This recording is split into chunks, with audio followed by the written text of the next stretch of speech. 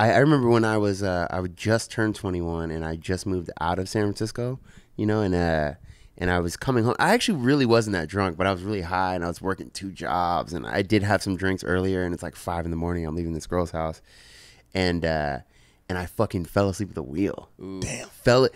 So I'm coming up over hill. So I live out of San Francisco. It's like 20 minutes from SF, and uh, I'm coming up over the hill and. Uh, I passed out, like coming over the hill. So now my car is still going. Yeah. And I smash a fucking truck.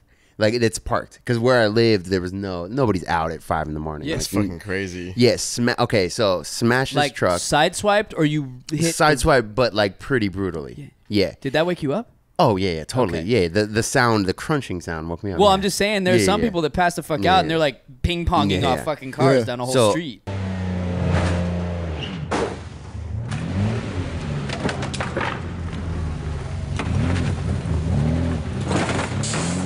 I uh yeah, so it woke me up. I I stopped. I smashed his car, Oh. but I stopped. Um, and I pulled the car over into a spot. There was a spot right there because it was a neighborhood. It wasn't like a you know busy city. Was anybody area. out yet? No, no, no. So I write this note. You know, I put all my insurance shit on there. Sorry about your car. No, no. I I, par- I parked the car. I put all my insurance like super quick. I put it on the windshield. A guy comes out of the house, and I just start running.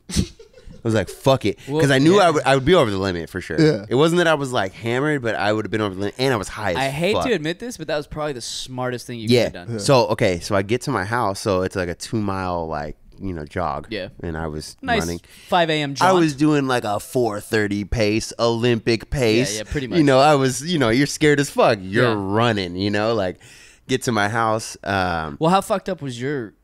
oh, your total. car. I mean, I didn't know this at the time, but it was total. Yeah.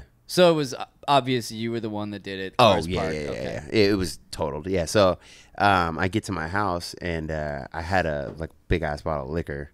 And I just started drinking it, and I was like, if they show up, I was just like, I was, you know, like I parked the car, chilled, you know, like, and I started drinking, you know, like, cause then then they can't say like, oh, were you, you know, you were drunk driving, like, no, no, no, I was shooken up from the drive, and I started drinking.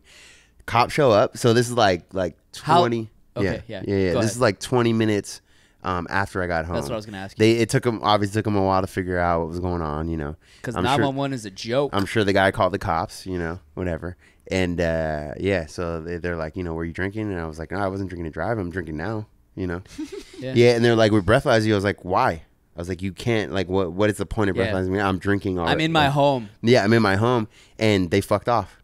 They're like, all right, well, as long as insurance take care of it, like you didn't hit and run, you left a note, like you're good. I Wow. think, yeah, I think the note saved your ass, dude. Oh yeah, totally, yeah, yeah, Yeah. yeah, totally.